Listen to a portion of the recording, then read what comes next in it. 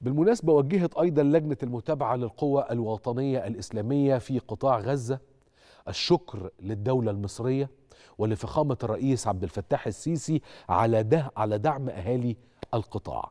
وبيناشدوا في بيان ليهم بإدخال الجرحى والمصابين لتلقي العلاج داخل مصر. بيان اللجنة بيقول نصا نوجه التحية لأشقائنا في مصر.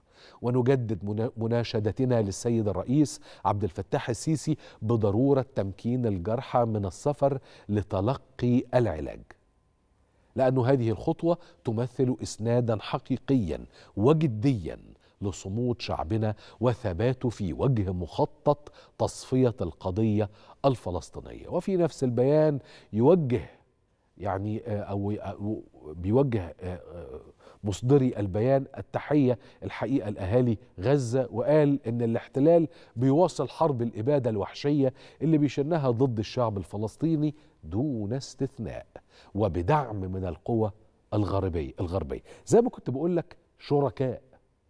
البيان بيقول وفي مقدمتها الولايات المتحدة الأمريكية. البيان بيقول والتي كشفت عن وجهها العدائي الشرير وباتت تدير الحرب عبر غرف العمليات المشتركة في واشنطن وتل أبيب وتشارك بكل قوتها التدميرية في سحق عظام الأبرياء من الأطفال والنساء.